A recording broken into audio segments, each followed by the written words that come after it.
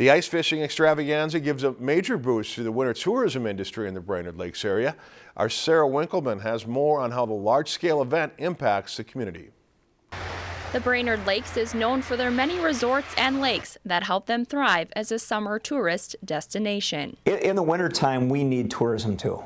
That is where the Brainerd Jaycees Ice Fishing Extravaganza comes in. As the contest brings thousands of people to the area, it gives local businesses a boost right when they need it most. We have a lot of heads in beds. There's a lot of people um, that are at our different lodging facilities. Our retailers are doing an awesome business uh, this weekend, as is our restaurants. Located right near the action on Highway 371 is S&W Bait Shop our whole winter business is reliant on this extravaganza.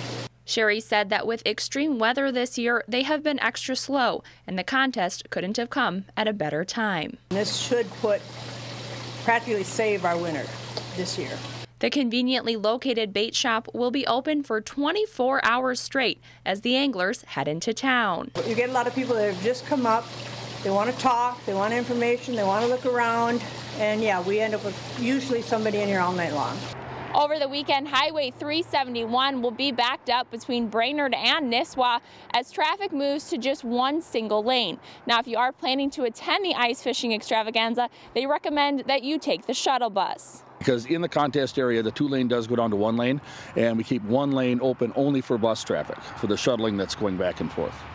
The sheriff's office anticipates many locals will drive by to see the contest in action, but if you do plan to, just be prepared to go slow. You know, take your time. Uh, if you have to drive through the area, just bring your patience with you. Whether you are participating in the fun or just along for the ride, the Brainerd Lakes community is proud to host the ice fishing extravaganza. It helps with summer tourism, it helps with winter tourism, but beyond any of that, it helps people make memories right here in the Brainerd Lakes area. Reporting in Brainerd, Sarah Winkleman, Lakeland News. The contest is attracting many large organizations, including the BBC, who will be in town for the event. If you enjoyed this segment of Lakeland News, please consider making a tax-deductible contribution to Lakeland PBS.